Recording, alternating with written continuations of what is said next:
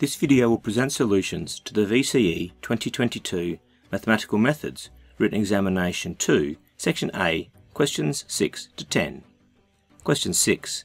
This question asks which of the five options are not pairs of inverse functions. Looking first at the rules for each pair, it seems like all the rules are those of inverse functions. This can be seen by transposing f of x and x and rearranging. In the case of b, for example, this process yields 3 over 2 multiplied by x take 2, which is equivalent to the rule given for g of x. So b is all good and not our answer. This process can also be implemented using a ClassPad. I'm going to do this to find the inverse of f of x in option E. The most efficient way to do this is to enter the function in the main app, with the switching of variables already done and using y in place of f of x y can then be made the subject of this equation by accessing the interactive equation menu and using the solve command to solve for y. E looks good too. So, if the rules all seem to be inverses, then this must be a question about domain. A question that raises its ugly head in particular when thinking about option C. The transposing process for x squared leads to plus or minus square root x. So the inverse will either be a positive or a negative square root, depending on the domain of the original function. So which is it? A quick sketch of f of x with the given domain of x less than 0 looks like this. Its inverse will be this shape reflected through the line y equals x, and so will look like this. But g of x looks like this. So the inverse of f of x would have to be the negative square root of x, and so the functions in option C are not inverses, and so this is our answer. Another possible approach to this question, which will not be demonstrated here, would be to graph each of these pairs of functions in the Graph and Table app and observe which pairs are not reflections through the line y equals x. Question 7. This question asks which of the five graphs provided could represent y equals f dashed based on the graph of y equals f of x that has been provided. My approach to these sorts of questions is to identify features of the graph of y equals f of x that tell us about the graph of y equals f dashed, and then use these features to rule options in or out.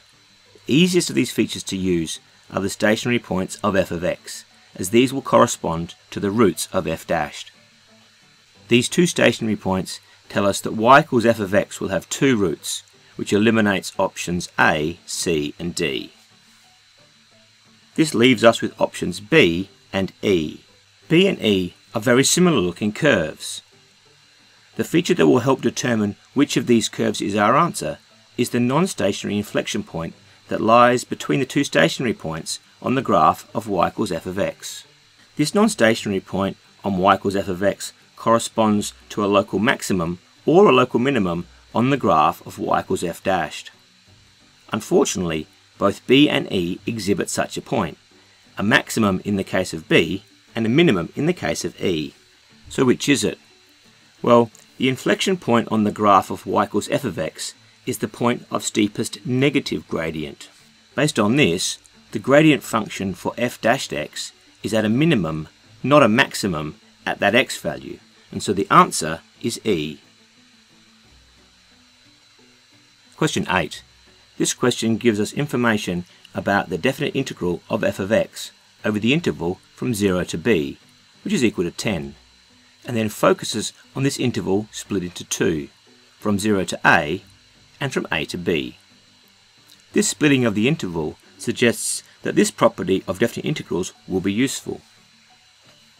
After substituting in the values that we are given, with a little rearranging, this relationship tells us that the integral from a to b of f of x is equal to 10 take minus 4, which is 14, and so the answer is E.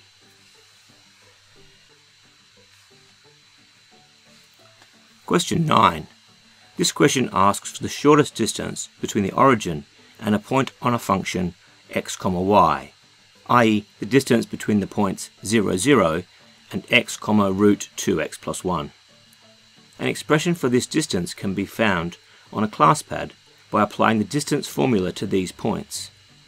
In the main app, enter this as the square root of x minus 0 all squared plus the root of 2x plus 1 minus 0 all squared.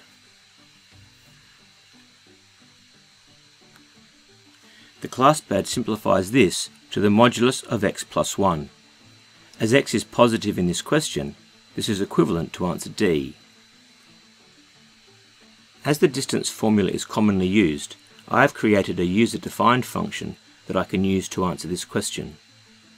Whilst the exam is no place to create such user content, if a user-defined function was already in place, I would locate it in the catalogue menu, which is found by tapping the down arrow on the bottom left of the keyboard. To see only user-defined functions, tap the Formula drop-down arrow and choose User. Tap the function required, in this case dist, and tap Input. This function has been defined to operate on four inputs, being the coordinates of the two points under consideration. These are separated by a comma.